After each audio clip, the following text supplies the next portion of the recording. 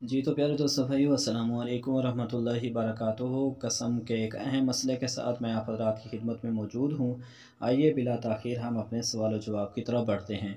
कुरान मजीद की कसम खाना जायज़ है या नहीं? सवाल, क्या कुरान मजीद की कसम खा सकता है या नहीं? हालाँकि हदीस शरीफ में आया है, मन हलफ़ा बग़ैर फ़कद अशरक कि जिसने अल्लाह के गैर की कसम खाई, उसने शिरक किया। तो अब कुरान अल्लाह का गैर है या नहीं है, बहुत अहम सवाल है जो आपको तवज्जो से समात फरमाइएगा।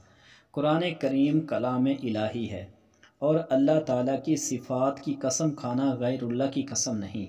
इसलिए कुरान करीम की कसम सही है और इसके तोड़ने पर कफ़ारा लाजिम आएगा, ठीक है?